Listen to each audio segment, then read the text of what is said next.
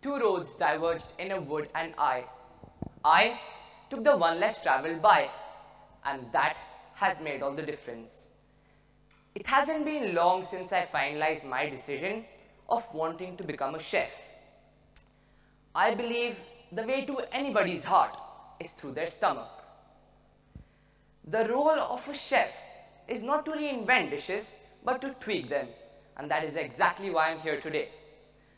Not to reinvent your perception, but to tweak it, just so that it tastes right. It is not unusual to receive strange looks upon telling people my ambition. Eh, chef, you want to become a cook? Especially in the Indian subcontinent, stereotypes against men entering the kitchen still exist. I mean, the last time I checked, this was the 21st century, where individuals could be anyone they wish to be, right?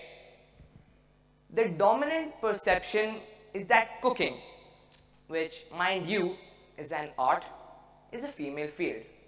The masculine and ever so strong men don't belong there.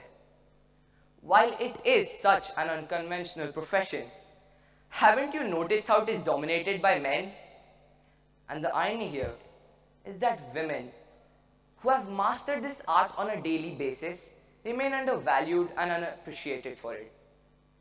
So, why is it that when it is in the domestic realm, the women are perceived more suited for it, but the second it becomes economically beneficial, it is taken up by men?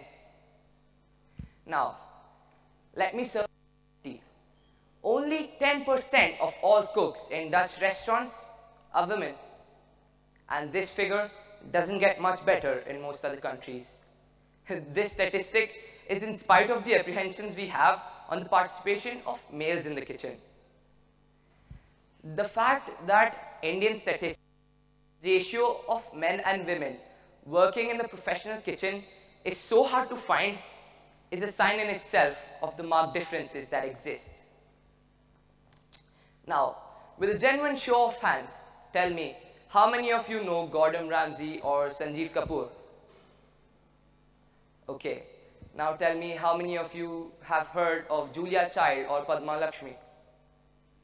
See what I'm talking about? Now let me bring to your notice the portrayal of male chefs in the Indian cinema.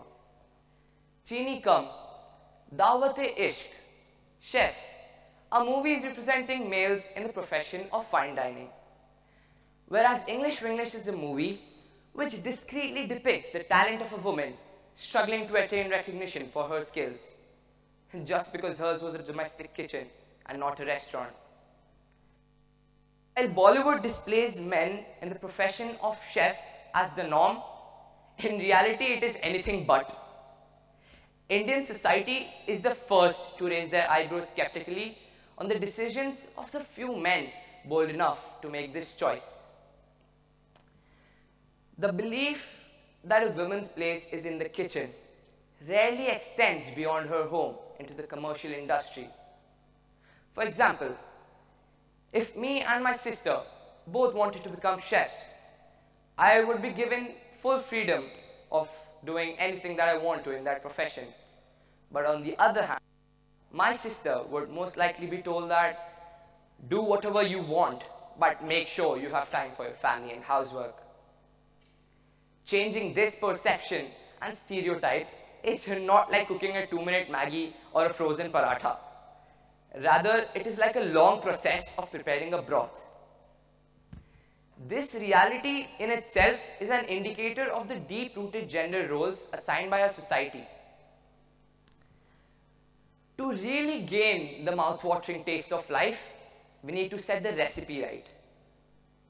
The right recipe for a gender equal society would mean that nobody scoffs off a young boy's desire to become a mere whim and at the same time no one is held back because of the stereotypes associated with the roles they aspire to take up. Everyone should be given the chance of a level playing field. If this is your perception or this is your perception about the involvement of women in the making of delicacies in the commercial kitchen, I suggest you alter it to this. Get the bigger picture. Don't get too salty about it. Bon appetit.